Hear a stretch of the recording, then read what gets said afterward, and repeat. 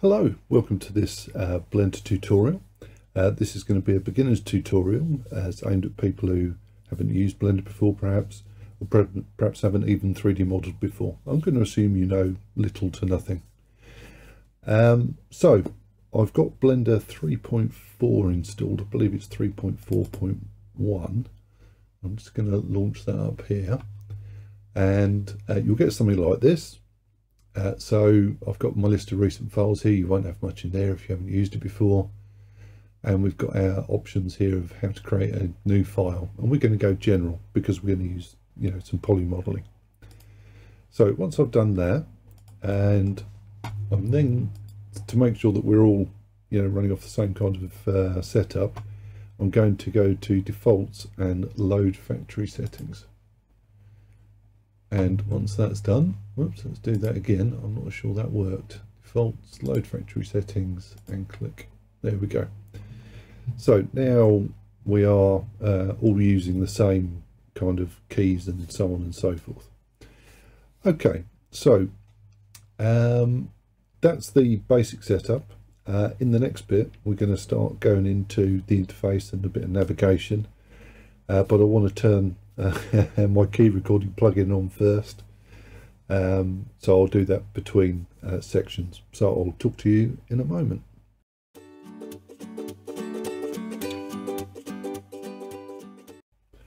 Okay, so I've turned my uh, sort of key recording software on. It's uh, down here. You'll notice I've got like three buttons. They're my mouse buttons.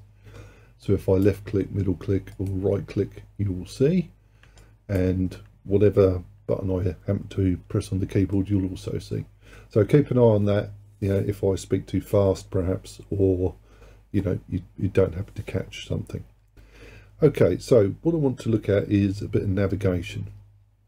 So if I middle click, I can rotate around my object.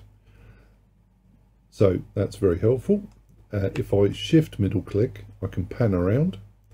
And if I control middle click, I can zoom in and out. Now there are some other options uh, in terms of zooming and such like, so for example, you know, if I'm a long way out from a particular piece I've got selected, I can press the full stop uh, or the period key on the numpad and it will zoom into my selection. And also on the numpad, that's where we control our kind of camera angles. So if I press 1, I'll go to the front view I press Control 1, I'll go to the back view. Uh, if I go 2, it comes into perspective. 3 is from the uh, left, I believe. And uh, Control 3 is from the right. And then my other favourite is 7 is from the top and Control 7 is for to the bottom. Now it's useful to get the hang of that uh, because you'll spend a lot of time changing camera angles and rotating around and doing all sorts of things. Uh, but if you have to have got into a camera angle, uh, you can just middle click, um, middle mouse button click, and you can come back and into perspective mode and do your navigation around. Okay, so just get used to that for a few moments. Perhaps pause the video. Uh, so mainly on the mouse, it's middle to rotate, uh, control middle to zoom, and shift middle to pan. So just get the hang of that and um, yeah, should be good. Okay, next we'll come in and we'll actually start to do some uh, modelling because I want this to be a practical thing. I want you to come out with something at the end. Um, so we're going to have a go at a, a fairly simple model, uh, a coffee cup or a coffee mug rather. Um, so yes, I will talk to you in a moment.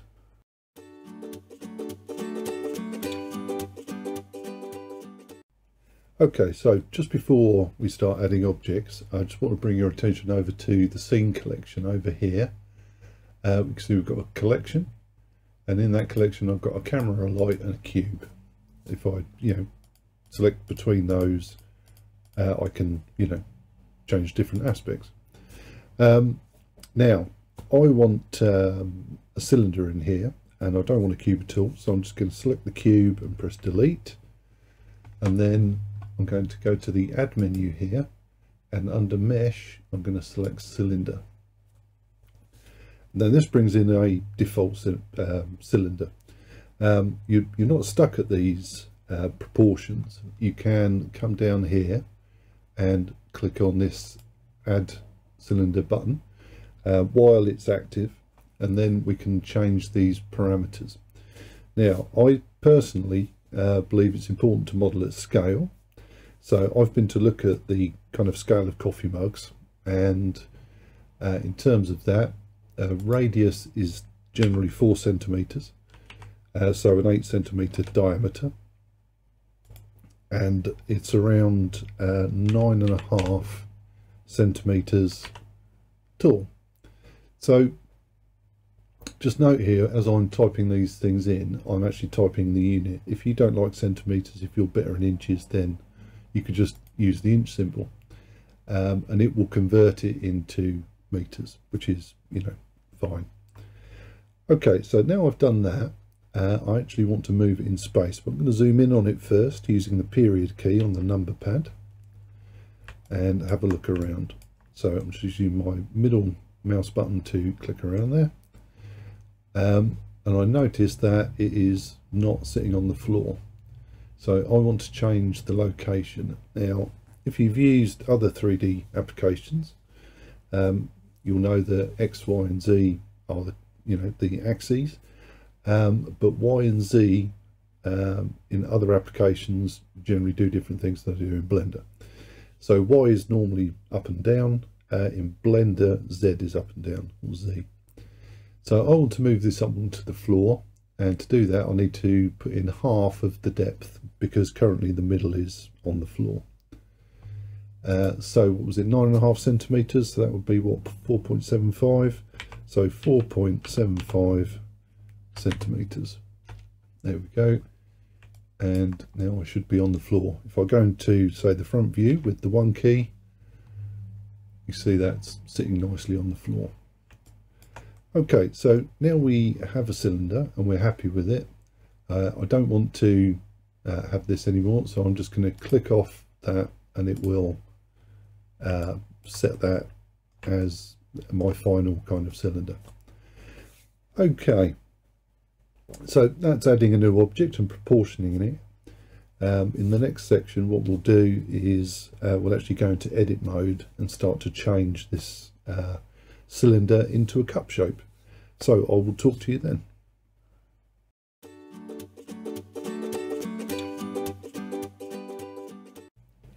Okay, so now that we've got our base primitive in, uh, we want to be able to change its shape. And um, we can't do that in object mode, which is what we're currently in. Uh, we need to be in edit mode. So if I just click off that, uh, I'm going to click onto the object I want to edit and then press the tab key to go into edit mode. Now edit mode is where we can select and perform operations on polygons or vertices or uh, edges and we can give this some shape. So what we want to do is basically hollow out this cylinder to give it a more cup-like appearance. So to do that I want to um, inset this top piece a little bit to form a lip and I'm going to go into polygon selection mode there. Um, that would either be using these, these three icons up here. So we've got vertex, edge and polygon. Uh, or I could press the one, two or three key. So three for polygon. So then I left click to select my polygon. And what I want here is just to insert this, uh, this top piece. So if I press uh, I, and then move my mouse, you'll see it's insetting. Now, um, it doesn't matter where I drop this. Uh, I'm going to drop it here. So with the left click, down here we get the inset faces options. Now I want to inset this four millimeters, which seems like a good number to for my edge. Um, and now I want to actually push this down into the cup to form the you know the inside of the cup. And for that what we want is the extrude uh, option and that's the E key. And then I can move my mouse up and down. It'll either bring it up or, or take it down. And again I'm just going to click to set it. And then uh, I can use this Z option here to push it down to where I want it to. Now my cup's say nine and a half centimeters tall. Um, I want a kind of a four millimeter uh, buffer between between the bottom and the and this piece. Uh, so if I type minus 9.1 centimeters, that should push it down to the right area. I use my middle mouse to just rotate around that to have a look, and that looks perfect. Okay, so um, with that, we have uh, a big polygon down the bottom and a big polygon on the bottom. Um, but, you know, in my old school ways, uh, that's called an n-gon. It's a polygon with more than four sides. And I, I generally never want that. Uh, so what I'm going to do here is I'm going to uh, basically inset this. So press I and then move your mouse and then click. And now I just want to weld all of this together. And for that we'll press the M key, that's the M key, and pick the at center option. And that will put a lot of triangles on the bottom, um, but takes away that n-gon, which is, uh, yeah, not, not desirable in my particular opinion. Other people will tell you it doesn't matter. Um, but I'm a bit more traditional, I think. okay, so we'll do the same under here.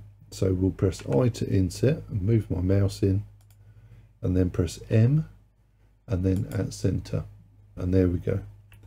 So now we have a basic cup shape. Um, in the next piece, what we're going to do is we're going to round off some of these edges. Uh, and we're going to use an edge bevel for that. Um, now, this is something that took me quite a long time uh, to realise when I was learning modelling. Um, there are, there's very little in the world that's got an absolutely sharp edge. And as you can see here, these are very sharp. Uh, so we're just going to soften those edges up a little bit uh, with the bevel tool. So we'll do that in the next section.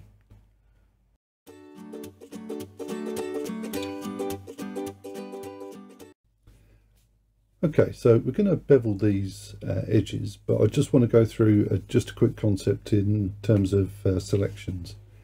Um, so there's something called an edge loop, and an edge loop is a continuous unbroken uh, loop of either edges or polygons. Um, and we can select those by using the Alt key and then clicking on an area. So I'm in polygon mode, and if I want to select all of the um, polygons around this edge, I need to point towards the middle of the um, object, towards one side, and then press Alt and left click. So just Alt and left click. There we go. And that will select the whole loop around it. And that makes selection very easy. You know, it, it's very useful to be able to select things easily in a model. Otherwise, I'd have to sit here go, you know, with my shift key held down selecting each polygon. But if I do control and select it will select the whole loop. Now where you click is important because uh, if I click towards the top for example it will try and loop in that direction. And similarly if I do it at the bottom it will try and loop in that direction. So either left or right in this case and it will go around my mug. So let's go to edge mode and just click off to deselect. And now I want to select all of the edges around the top here on the outside and the inside. So it's alt click on the outside first and then shift alt click. Shift will add to my selection. And I click an edge on the inside. And now I've got all of those selected. And now I've got them selected I can bevel them. Uh, so we can bevel either by going up to edge and uh, bevel edges or as you can see here there's a shortcut which is control and B. So I'll use my shortcut so control and B and then I can move my mouse and it will bevel. Again if I left click to drop it it will uh, give me the options down here to change the way I'm beveling. So uh, now I can control how many segments it will create and I want one segment here sorry I want two segments here so that makes a nice rounded kind of bevel Um, the more segments you put in there, obviously the rounder it will be. Um, but because this is a low poly um, stage, I don't want to put too much in. So two is fine. And I might even want to precisely control the width. So I could say, actually, I only want this to be one millimeter. And if I click that, that does uh, sets the bevel edge to one millimeter, which is quite nice. It gives quite a soft edge on this this coffee cup, and I don't know about you, but I wouldn't want anything particularly sharp, you know, coming near my mouth. Okay, so that's the outside, uh, but we have to do the bottom and the bottom inside as well. So I'm just going to click to deselect, and then use my middle mouse to rotate around. Uh, alt click around the bottom of the cup and then rotate around with middle mouse and then shift alt click on the bottom and then control B to bevel then move and set and then we can update here if required. And now I'm going to set this to perhaps a little more than the the top so maybe three millimeters. There we go. Okay so now we have uh, nicely softened edges which is terrific uh, because you know we want to make a cup that looks like a cup. We don't want to make a cup that looks like it would cut your mouth if you put it anywhere near it. Okay so what are we going to do next? Well next we're going to add in a handle and uh, we'll get to that in the next section. So I'll talk to you then.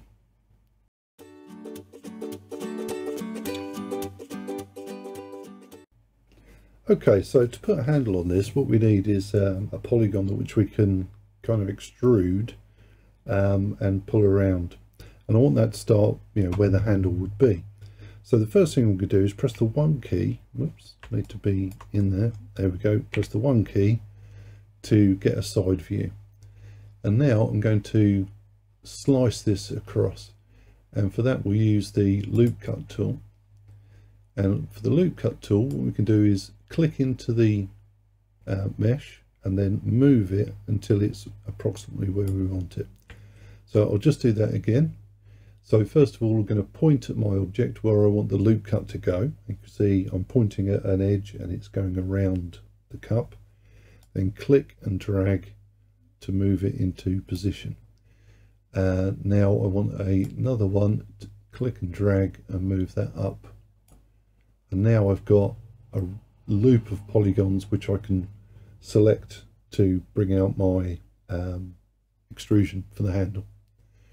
Similarly on the bottom, I'm going to click and drag down and click and drag down. There we go. So now I've got the top and bottom polygons for my cup. Um, but I realise I've dragged too far. Uh, my uh, pieces aren't quite, you know, right.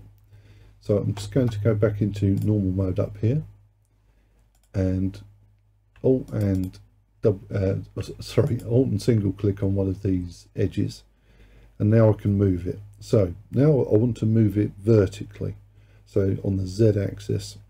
So if I press the G key which will allow me to move something it doesn't restrain it.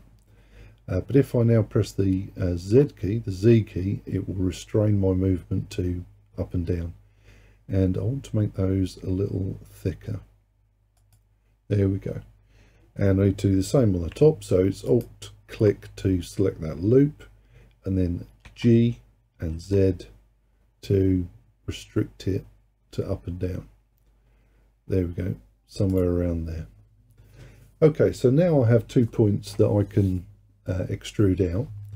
Um, but I don't want to extrude it just as it is. I want to inset it a little first. So if I go to polygon mode and select these two polygons here and these two polygons here.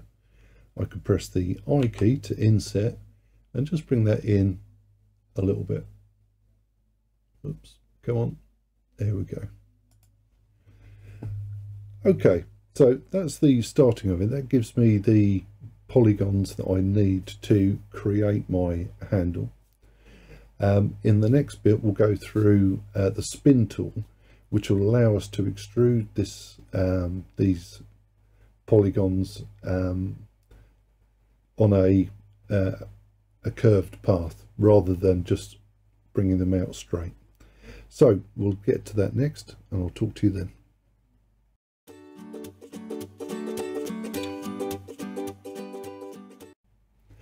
Okay then, so now we've got our uh, polygons in the right place, we want to extrude them on a curve. And for that we use the spin tool. Now the spin tool is very useful, um, but it needs a little bit of, uh, how can I put it, uh, finessing. In this case, the spin tool is going to use this little bit here, which is called the, uh, the cursor, and it is going to spin around that origin. So we need to put that origin where we want it. And in this case, I want it halfway between these two polygons, or these polygons I have selected. So I'm going to use the loop edit tool, or loop cut, and just click on that middle uh, piece there, and that's put a, a, a loop around there. And then back to the cursor mode, I'm going to go into vertex mode and I want to select this vertice which is halfway between the two okay so now I want to put my cursor onto that vertex. And for that we can press shift and S. That's not S that's A. Shift and S and we get a little pie menu up. And I want to go cursor to selected. There we go. Now you can see that little thing is sitting on that vertex. Now, let's select our top pieces and then use three to go to uh, the side mode. And now I want to spin that around. And for that, we'll use the spin tool. So you can see here, I've got this little blue thing, and that's the axis that is going to spin around and this is the uh, Z axis which is not the one I want because it's going to spin it around in a circle let me just rotate around a bit you can see that it's going to spin it around in that direction of that blue circle if I go to Y you'll see it will spin it around that green circle and if I go to X it will be this red circle and that's the one I want so I can click on this plus then and just bring that out like so to get a nice curve going. Now I'm not going all the way. Uh, I can perhaps put, you know, perhaps 125 in there. And I may not want all of these loops, uh, so you can adjust that on these steps. So perhaps eight would be enough uh, for this level of um, uh, model the level of geometry it's got in it. If I put too much into it, then it's going to overwhelm the rest of the model. And I like to keep them kind of, you know, close. Okay, so once I've done that, I can go back to my normal uh, mode. And now I want to bridge this bottom to this piece here. So we can do that using the bridge tool. So if I go to face, uh, sorry, edge and bridge edge loops, you'll see that joins those together. Uh, but it's, it's very straight and very unnatural. Uh, so we want to increase our number of cuts here. So if I increase those cuts, you'll see it becomes a little more uh, rounded. And I've deliberately done that uh, because I didn't want these to be exactly the same as the top. I wanted there to be a little bit of a taper at the bottom uh, so that it kind of thins out a little bit. So there we have essentially a little bit of a coffee mug. Now I can see that actually it doesn't really look like a coffee mug. The handle's too low. Um, perhaps the bottom is okay but the top isn't. So what I'm going to do is I'm just going to undo all of that and then I want to move this whole ring upwards. Now to do that, um, what I'm going to do is go into um, x-ray mode. So if I go to front view first, and then up here, we can click this little uh, x-ray toggle, or we can use the Alt Z key, Alt Z, and that will toggle between the two. And it's good to get used to that because you'll find you use it quite a bit. So let's do Alt Z to select, and now this will allow me, whoops, to select all the way through there. So if I drag box around there and then press Alt Z again, you'll see that I've got the whole loop around. So let's go back into the one view and I want to move it now. So G and Z because I only want to move it up and I'm going to move it up. Similarly, now I've moved that, this middle point is no longer the middle point. Uh, so I'm going to alt click that to select it and then press the delete key and then dissolve edges. That will take the edges out but leave everything else where it is. So let's do that. Now I'm going to put that cut back in. Select my vertex, press shift and S and set my cursor to the selected. There we go. And now we can repeat that little operation.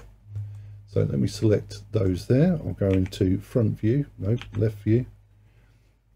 And then back to my spin. And I can spin that around. There we go.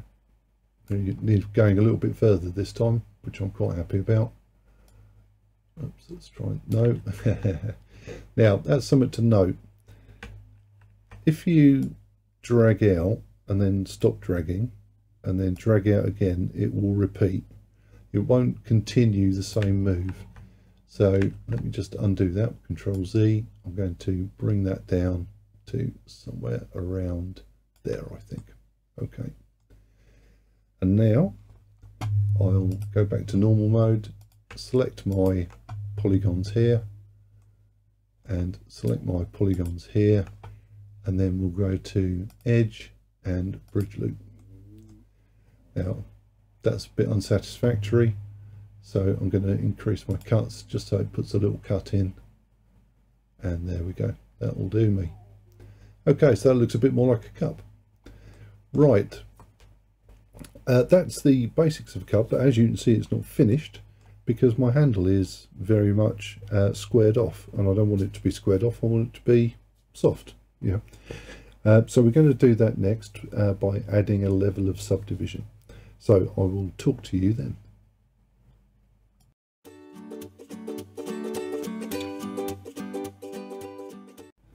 Okay, so uh, subdivision is a way of um, increasing the geometry in your model, um, but not having it set.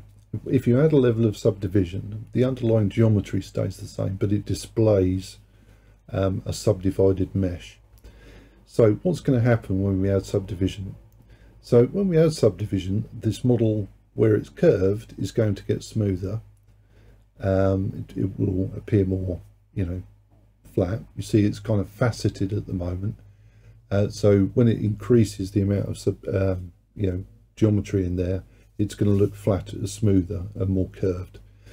Where it's angled like this on the handle, it's going to completely smooth it out. Um, so let's add a subdivision modifier. So over here, uh, we can click this little blue uh, spanner or wrench and add a modifier. So if I click add modifier and select subdivision or subdivision surface rather, you'll see that it's now smoothed everything out. Now, not everything is perfect. Um, the edges look better uh, and the handle looks more curved, but there is uh, still an element of you know faceting about it. And for that we need to change kind of a, a display property. And to do that I'm going to press tab to go into edit mode because I can't do it in uh, in editing mode.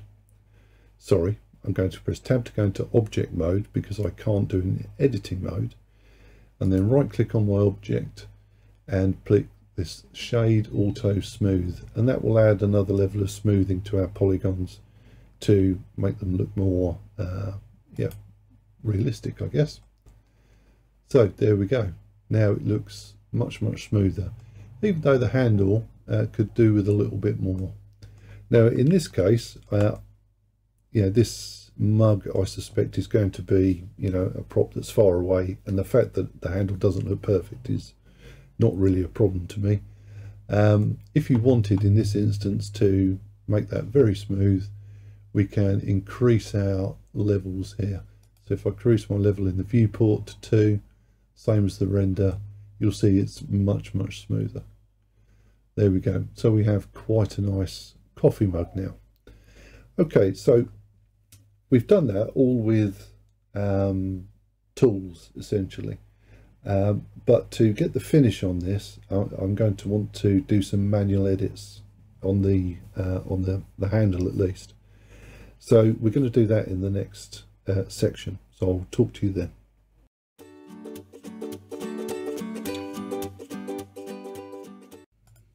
Okay, so we're going to be doing a little bit of manual editing on here, just to finish off the handle, I think.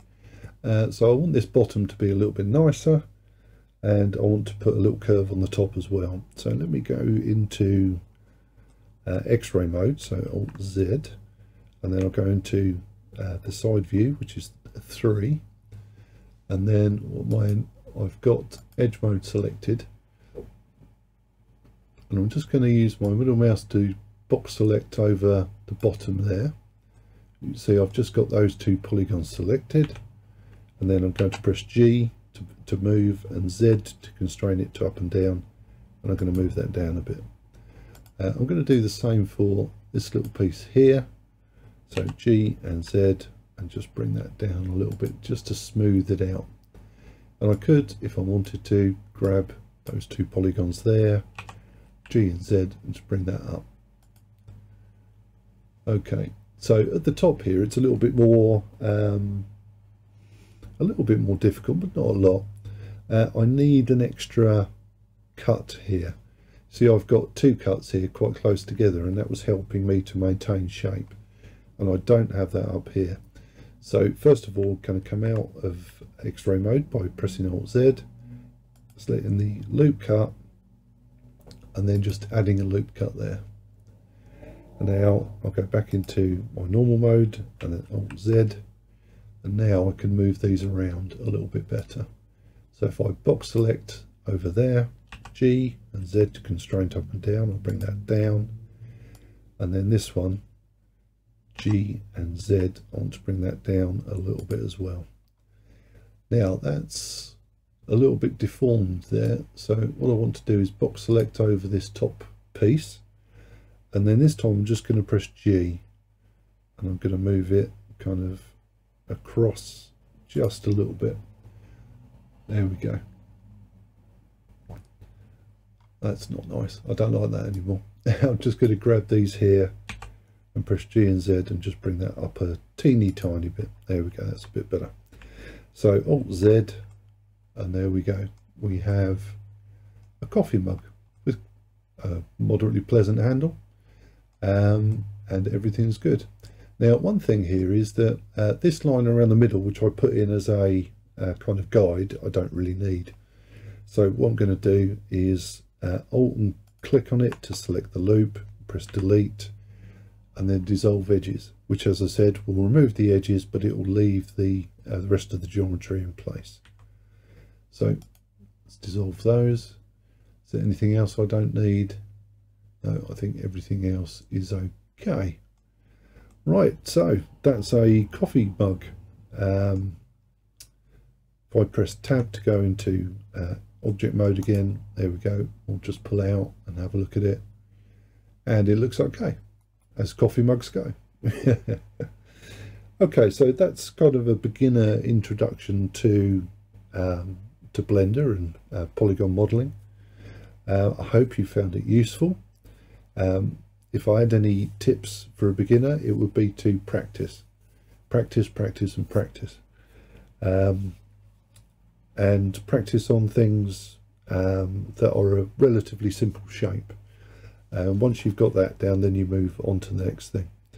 Uh, in the next few kind of weeks and, and things, I guess I'm going to um, do some similar tutorials um, on more complicated shapes. And uh, the next tutorial I'm going to do is um, how to take this shape from a, a grey or this cup from just a grey object into a, a textured object and then rendered.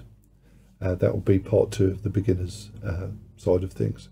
So I hope you found it helpful. If you've got any comments, please let me know. um, and I will talk to you again soon.